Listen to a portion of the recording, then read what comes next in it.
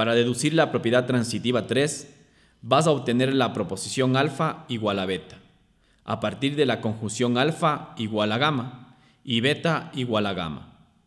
Aplica la propiedad simétrica de la proposición beta igual a gamma de dicha conjunción.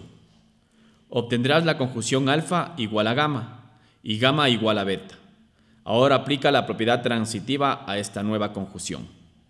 Obtendrás que la igualdad alfa igual a beta es verdadera, como era tu propósito.